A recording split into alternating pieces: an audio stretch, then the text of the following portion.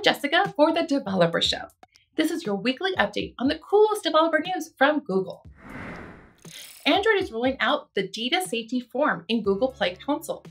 With the new data safety selection, developers will now have the transparent way to show users if and how they collect, share, and protect user data before users install an app. Are you interested in learning Flutter?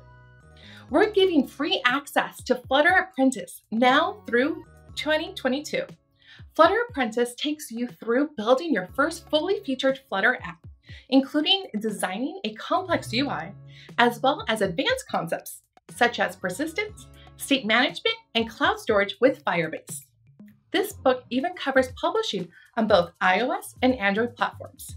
Get access to this resource today. Google Workspace Marketplace announced the availability for developers to display pricing for their applications published through Google Workspace Marketplace and the date their application listing was last updated. This will provide more information about your app for workspace administrators and end users to evaluate and install your app.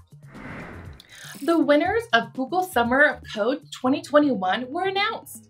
Google Summer of Code is a global program focused on bringing student developers into open source software development. 92 project proposals were submitted and three projects were accepted. Congratulations to the winners and participants for all of their work. Check out the three winning submissions and their project repos in the blog post. Machine Learning Community Day is on November 9th.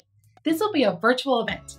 You'll hear from TensorFlow, JAX, and DeepMind teams, and the community covering new products, updates, and more. Sign up to attend. Check out the blog post in the description box for all the links to this week's stories. Please remember to like, subscribe, and share. I'm Jessica for The Developer Show. Thanks for watching, and we'll see you next week. Or like on the other side. Ta-da!